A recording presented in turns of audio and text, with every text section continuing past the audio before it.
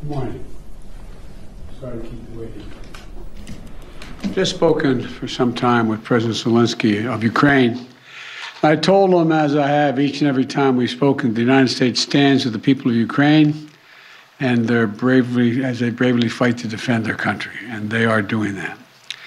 And as Putin continues his merciless assault, the United States and our allies and partners continue to work in lockstep to ramp up the economic pressures on Putin and to further isolate Russia in the global stage. Later today, together with other NATO allies in the G7, Canada, France, Germany, Italy, Japan, the United Kingdom, as well as the European Union, we're going to jointly announce several new steps to squeeze Putin and hold him more, even more accountable for his aggression against Ukraine. And I want to speak to a few of those points today. First, each of our nations is going to take steps to deny most favored nation status to Russia. Now, most favored nation status designation means two countries have agreed to trade with each other under the best possible terms low tariffs, few barriers of trade, and the highest possible imports allowed. In the United States, we call this permanent normal trade relations, PNTR, but it's the same thing. Revoking PNTR for Russia is going to make it harder for Russia to do business with the United States. And doing it in unison with other nations that make up half of the global economy will be another crushing blow to the Russian economy. It's already suffering very badly from our sanctions. Many issues divide us in Washington, but standing for democracy in Ukraine, pushing Russia's aggression, should not be one of those issues. The free world is coming together to confront Putin our two parties here at home are leading the way. And with that bipartisan cooperation, I'm looking forward to signing into law the bill revoking PNTR, which is, again, most people think of it as most favored nation status. We're also taking a further step of banning imports of goods from several signature sectors of the Russian economy, including seafoods, vodka, and diamonds. And we're going to continue to squeeze Putin the G7 will seek to deny Russia the ability to borrow from leading multinational institutions such as the International Monetary Fund and the World Bank. Putin is an aggressor. He is the aggressor, and Putin must pay the price. He cannot pursue a war that threatens the very foundations, which he's doing, the very foundations of international peace and stability, and then ask for financial help from the international community. The G7 is also stepping up pressure on corrupt Russian billionaires. We're adding new names to the list of oligarchs and their families that we're targeting. And we're increasing coordination among the G7 countries to target and capture their ill begotten gains. They support Putin. They steal from the Russian people. And they seek to hide their money in our countries. They're part of a, that kleptocracy that exists in Moscow. And they must share in the pain of these sanctions.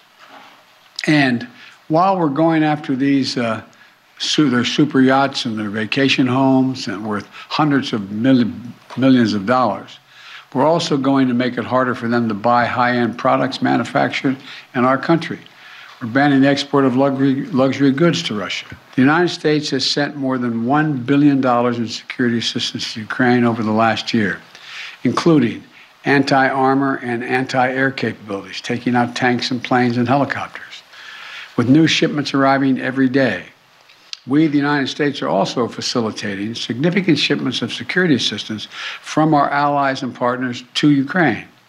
And the humanitarian front, we're working closely with the UN and humanitarian organizations to support the people of Ukraine who've been displaced by the violence in Ukraine. We're providing tens of thousands of tons of humanitarian supplies, food, water, medicines, coming via truck and train every single day. Yesterday in Poland, Vice President Harris, Harris announced an additional $53 million in additional humanitarian support to Ukraine. That brings the total humanitarian assistance to $107 million in just two weeks. We've joined this effort by more, with more than 30 other countries who are providing hundreds of millions more.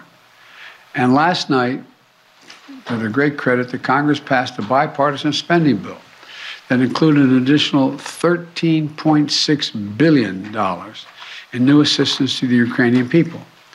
And I look forward to signing that immediately. And I also want to be clear, though. We will make sure Ukraine has weapons to defend against an invading Russian force. We will. We will send money and food and aid to save the Ukrainian people. And I will welcome Ukrainian refugees. We should welcome them here with open arms if they need access. And we're going to provide more support for Ukraine. We're going to continue to stand together with our allies in Europe and send unmistakable message. We'll defend every single inch of NATO territory with the full might of the united and galvanized NATO. We will not fight a war against Russia in Ukraine. Direct confrontation between NATO and Russia is World War III, something we must strive to prevent.